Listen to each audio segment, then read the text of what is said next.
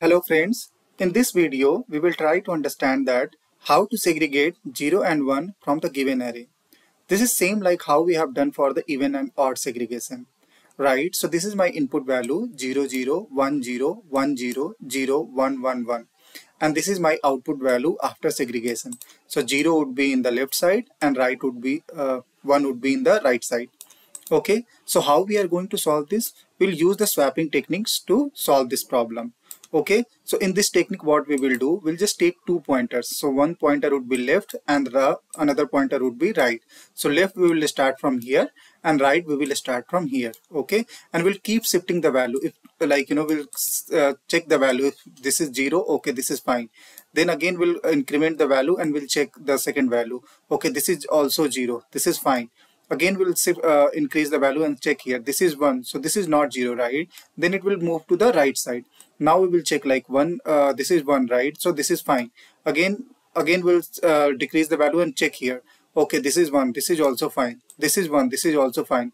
Now we'll check here. 0 okay this is not fine because um, 0 should be in the left position right? So now what we will do? We'll just uh, swap the position. 1 with 0 and 0 with 1 okay? So let's go to the code and then we'll find out. So here you can see that right? This is my input value. Here I have created one method segregate uh, zeros and one. And here I am passing this input value. Okay?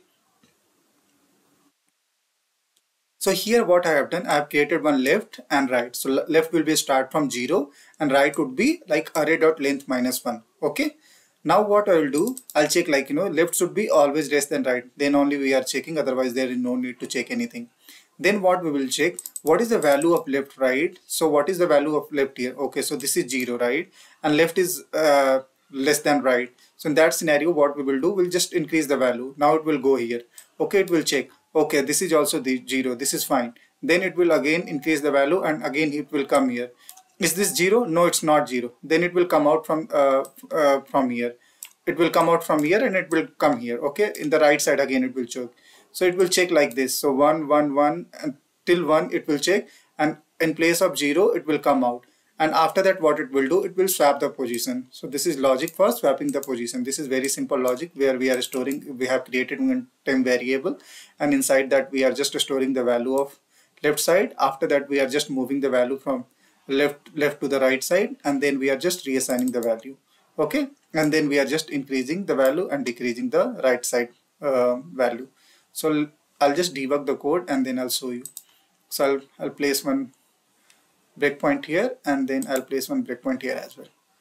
I'll start my application now. I'll put one F10 so now left will be start from 0 and what is the right? So right is 9 okay now left is less than right. This is fine. This is 0 and this is 9. What it will do, now again it will check. Uh, what is the value of uh, zeroth position? 0. Okay, this is fine. Then what it will go? It will increase the value. Again it will go. It will again check here. Okay, this is also 0. Now again it will increase the value. Again it will come here and it will check. Okay, 1, this is 1 right. So this is not equal to 0. Then it will come out from this now again it will go to the right side and it will start checking from here. Okay. So one uh, okay this is fine. This is again it it will go it will it has decreased the value and it again it is checking here. This is one also one. So right side value is one. So it will keep shifting. Okay. It will keep shifting until all values are completed. Okay. And after that what it will do it will just uh, swap the value. So i'll put one continue here so now you can see the value, right? So this is, I have segregated the value. So this is 0 left side and right uh, 1 at right side. Okay. So here the time complexity is big of n because we have just taken one loop and the space complexity would be big of 1 because this space is constant everywhere. So I hope you have understand this logic. I'll see you in the next video. Thank you.